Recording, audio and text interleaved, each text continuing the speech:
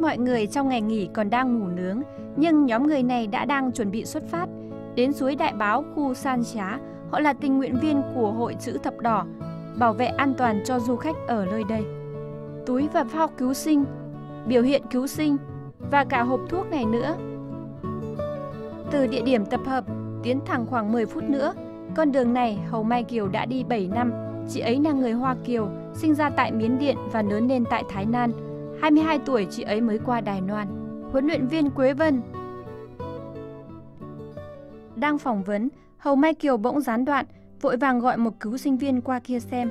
Hóa ra trong khi tiếp nhận phỏng vấn, chị nhìn thấy phía trước có mấy bé chơi gần khu vực nguy hiểm. May mà cha mẹ các bé cũng ở đó.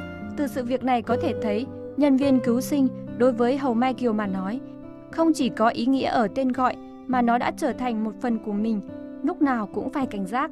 Nhưng thực ra mới đầu tiếp xúc với công việc này, chị Bộc Bạch chỉ là cùng con trai học tập. Nhưng không ngờ khi học lại bị cuốn hút hơn cả con trai, học đến huấn luyện cứu sinh. Sau đó, trong hội chữ thập đỏ của chúng tôi cũng có tổ chức huấn luyện kỹ thuật cấp cứu CPA. Tôi cũng có học cái này. Vội vã nấu xong bữa tối cho hai người, Hầu May Kiều lại vội vã đi. Chị cởi chiếc áo đồng phục của hội chữ thập đỏ, mặc vào chiếc áo đồng phục của đội phòng cháy chữa cháy.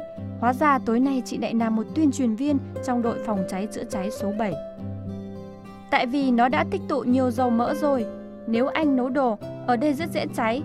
Có mệt không? Vâng, mệt à? Nếu thuận lợi không sao, không thuận lợi thì rất thất vọng. Đêm đã khuya, Hầu Mai Kiều nê bước chân mệt mỏi, về tới đội phòng cháy chữa cháy, hỏi chị có mệt không? Chị cười nói, rất mệt, nhất là khi bị từ chối, nhưng sau khi nghỉ ngơi, lại vẫn cứ tràn đầy sức sống.